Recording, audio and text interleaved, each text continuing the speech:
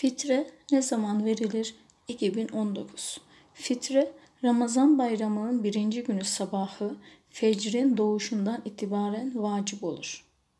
Fitreyi vermenin müstehap olan şekli ise fecrin doğuşundan itibaren namazdan çıkmadan önce fakirlere verilmesidir. Fakat fitrenin bayramdan birkaç gün hatta birkaç ay önceden verilmesinde de bir beis yoktur. Böylece fakirlerin bayram ihtiyaçlarını önceden karşılamaları, noksanlarını telafi etmeleri sağlanmış olur. 2019 yılında Ramazan bayramının birinci günü 4 Haziran 2019 Salı. Öyleyse 4 Haziran 2019 Salı günü sabah namazından sonra ya da birkaç gün önce hemen fitremizi vermeliyiz.